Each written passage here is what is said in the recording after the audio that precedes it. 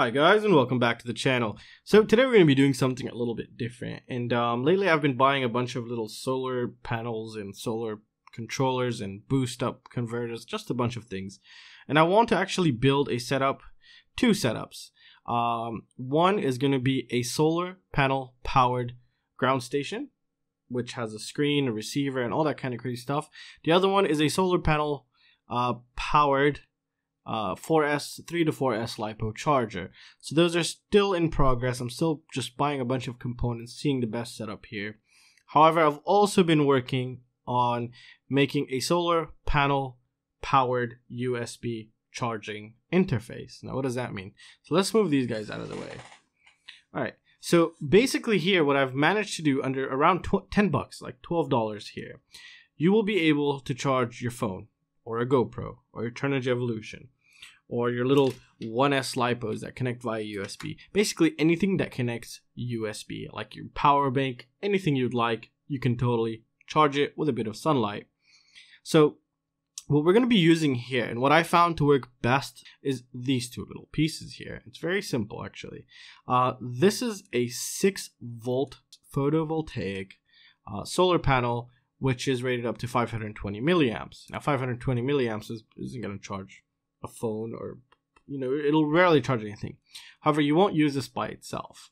This is where this guy comes in. So this guy here actually takes 6 to 20 volts. So this is 6 volts, so that's perfect.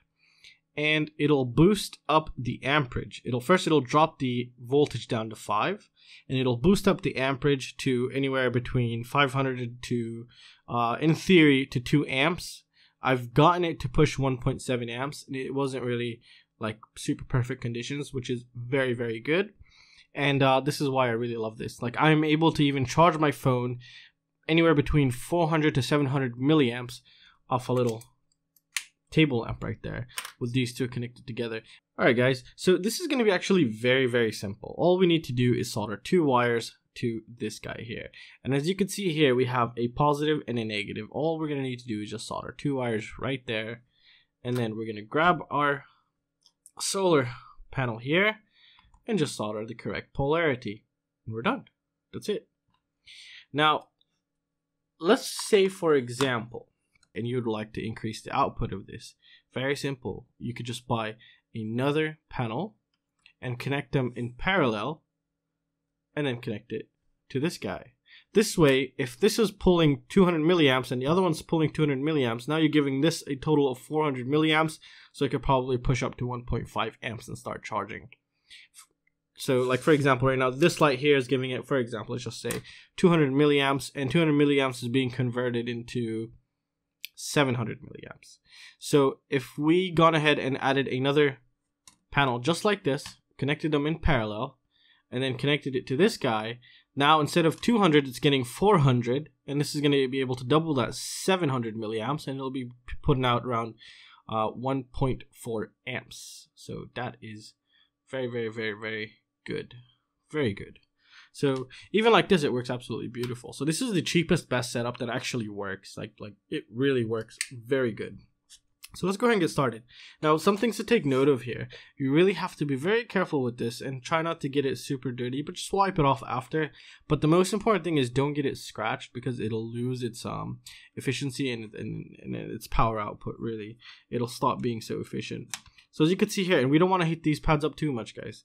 So as you can see here, we have positive and negative, and all we're going to do is just going to run two wires to this guy. So let's go ahead and grab some wires here. Alright, so I've gone ahead and connect, uh, cut the wire here. And this is silicone wire. I really love silicone wire. And what's so awesome, because it's such thin gauge, I could just go ahead and remove it with my, just, just adding pressure. And I don't even have any nails, so you can just easily, just a little bit of pressure and pull it off. And you're good to go. So, there we go. We have one side ready here. Now, as we wait for the soldering iron to heat up, we'll just might as well do the other side. And there we go. Perfect. And last side here. So there's no weird trickery here. You know, positive is going to go to positive, negative is going to go to negative, and it's just going to be very simple. So let's go ahead. Uh, this this will come without any uh, solder, so you're going to have to add your solder. It does come copper plated, so you don't have to be worried about anything. So we're just going to quickly touch it, and then there we go. Just add a little bit. Didn't really need much. There we go. Just to freshen up the joints here. And Now let's go ahead and grab our wires here. And let's just prepare the wires.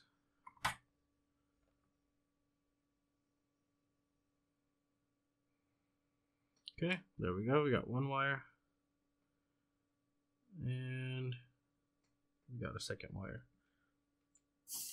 Okay, so where's ground? Here's ground. And I'm going to have it sticking out this way. So there we go.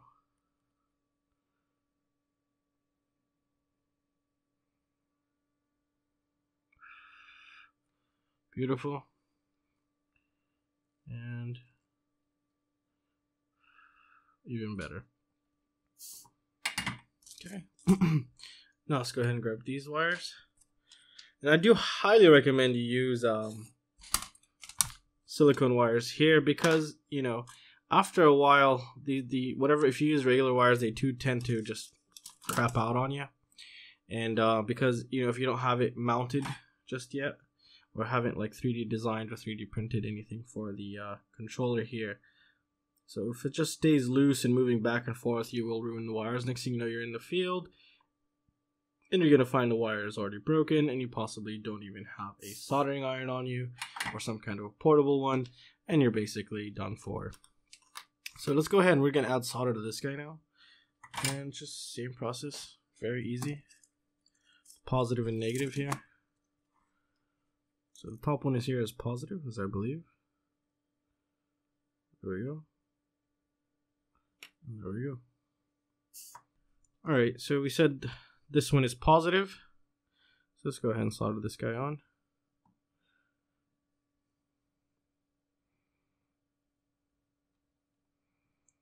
Okay, beautiful. And these are a bit too long, but it's okay right now. And there we go. Alright guys, so now we're basically done. All it was is just four soldering areas and just two wires and we're gonna go ahead and test it out with artificial light. Now I know it works, but you know it depends on how good you set the light on it. But in sunlight, it's absolutely beautiful. So let's go ahead and test this out. So let's go ahead and grab my phone, and we're gonna be setting up this app here that tells us how much we are get using and how much we're charging. So let's go ahead and get the amperage. So in, in good sunlight, you can get around 1.2 amps to 1.7 amps. So let's go ahead and set this guy up. So I'm going to connect them and obviously in theory we should not get any charge until we turn on the table lamp. So I'm going to go ahead and move it under the table lamp here. And just turn on the table lamp. Put another one just give it a little boost. And as you can see it's measuring and it's charging. So 610 milliamps here. So obviously if we just play around with it and set it up more closer and stuff, we should increase and decrease. And if I were to put my hand over it right now, it should completely disconnect. So just like a quick slide through. Hmm, it didn't, there we go. So it is working and it works beautiful in sunlight. Just put it by your window. It'll just go ahead and eat up all the sunlight and charge anything. Very good. Uh, like I mentioned, I've gotten it to charge at 1.7 amps, which is absolutely beautiful. Right now, as you can see under artificial light, I have two table lamps on it. Um, it's it's charging. Um, I can't say it's not charging. So you can go ahead and charge whatever you want, basically. Um, you know, GoPro, whatever you want, Turnigy Evolution, all that kind of crazy stuff, because those are basically charging right between 700 milliamps to 1.2 uh, 1.2 amps right there, so 1,200 milliamps. So as you can see, we're reaching one amp right there. Oh, look, one 1.2 amps right there. So it is charging very good.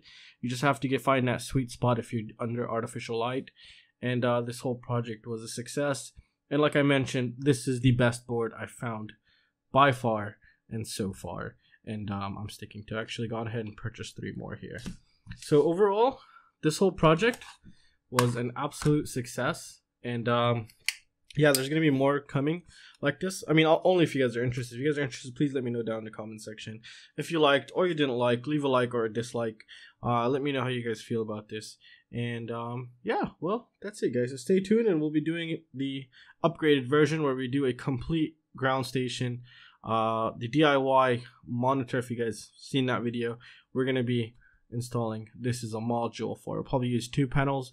I'm going to calculate its amp draw and everything, and we'll figure it out. And we're also going to be doing a 3S and a 4S LiPo charger, and it should be fun and interesting. So that's to conclude it for this video, guys. I really hope you guys enjoyed it, and if you guys have any questions or any suggestions, feel free to let me know. And everything here is linked down below. See you guys. Take care.